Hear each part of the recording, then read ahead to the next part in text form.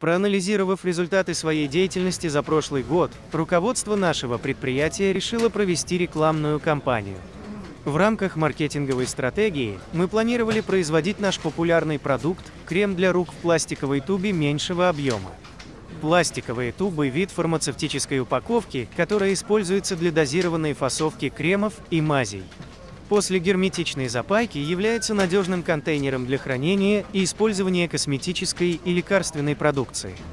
Мы на протяжении 20 лет занимаемся изготовлением медицинских препаратов и входим в состав крупного производственного объединения в Свердловской области.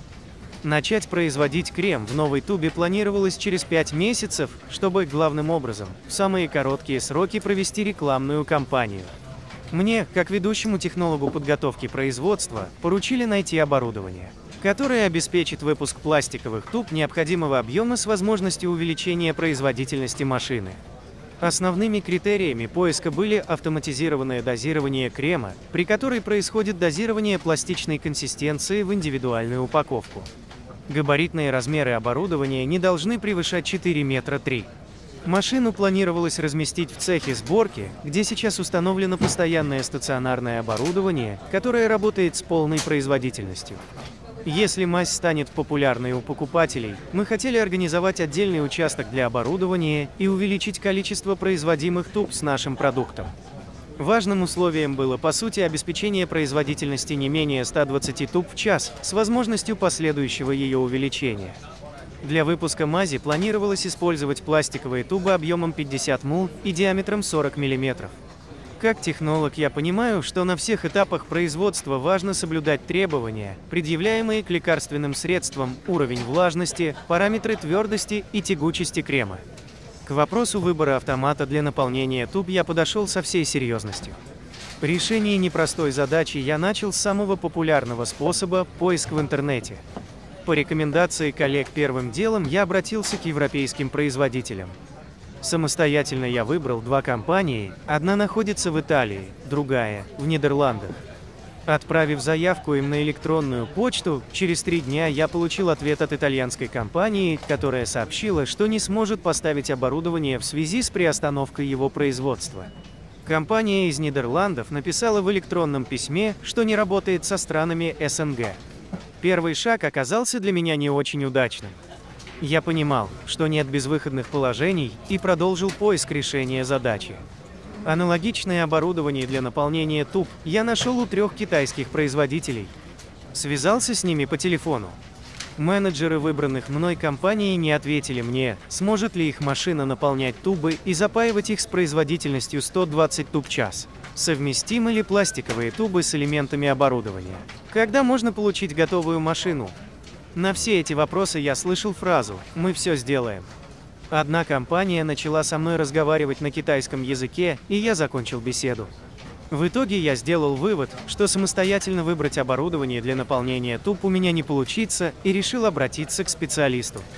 Мне нужен был профессионал, который, в принципе, даст полную информацию о машине, ее возможностях, протестирует на оборудовании тубу с нашим кремом, расскажет об условиях поставки. Китайских посредников изначально решено было, по сути, не рассматривать, так как часто производители из Китая имеют своих прямых представителей. Я не хотел проходить этот этап заново и решил обратиться за помощью к российским посредникам. Выбор специалиста я производил, основываясь на следующих критериях. Длительный период работы на рынке продажи фармацевтического оборудования, положительные отзывы клиентов, доступность информации на сайте компании, удобные условия поставки машины. По этим параметрам мною было по сути выбрано 4 компании. Отправив всем запрос по электронной почте от двух компаний, я так и не получил ответа.